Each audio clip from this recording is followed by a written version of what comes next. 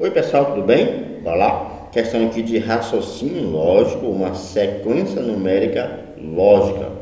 E que achar esse próximo termo aqui, ó.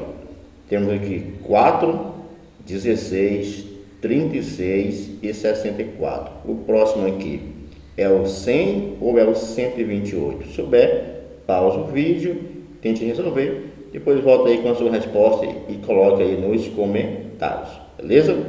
Bora lá, olha só. Primeiro que aqui nós só temos, nós só temos números pares, não é isso? 4 para 16, se eu fizer 4 vezes 4, 16, ok, mas se eu multiplicar por 4, 16, não vai dar 36, então não pode ser vezes 4.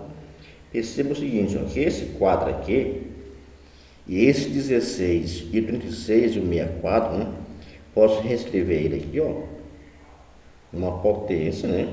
De base 2 e levar aqui ao quadrado. Ó. Bora ver se vai dar certo? 2 ao quadrado, 4. O 16 né, é o 4 ao quadrado. E isso também é o número aqui elevado ao quadrado. 36 é o 6 ao quadrado. Beleza, né? Só a sequência de números pares, não é isso? Ó? O próximo aqui não é 8. 2, 4, 6, então aqui é o 8. 8 ao quadrado também dá 64, matou. Então aqui, ó, o próximo vai ser 10 ao quadrado. E 10 ao quadrado, concorda comigo que é 10 vezes 10 dá 100?